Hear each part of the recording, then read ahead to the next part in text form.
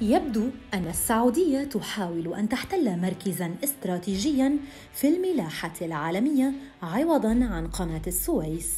هذا وأعلنت الهيئة العامة للموانئ موانئ عن تقديم مبادرة لدعم الخطوط الملاحية العالمية العالقة في جنوب قناة السويس على ساحل البحر الأحمر وذلك في حال تحول هذه السفن إلى ميناء جدة الإسلامي وإنزال حاوياتها بالميناء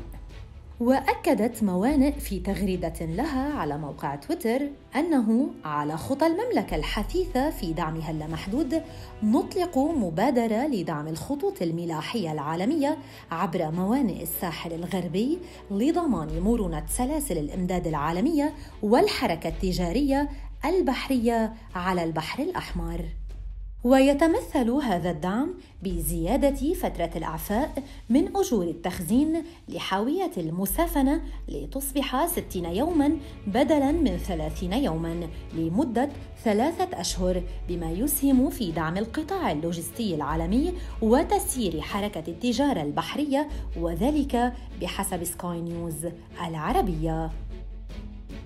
وتأتي هذه المبادرة تاكيدا على مساهمة السعودية في تخفيف الأثر بعد تحرك السفينة التابعة للخط الملاحي العالمي ايفرغرين ومساعدة سلاسل الإمداد والنقل العالمي بالإضافة إلى زيادة مكانة الموانئ السعودية في سرعة التكيف مع متغيرات سوق النقل العالمي وتحدياته. وذلك للتأكيد أيضا على القدرات والإمكانات المتطورة والطاقات الاستيعابية الضخمة التي يتمتع بها ميناء جده الاسلامي القادره على استيعاب كمية الحاويات التقديرية على تلك السفن دون التأثير على العمليات التشغيلية للميناء.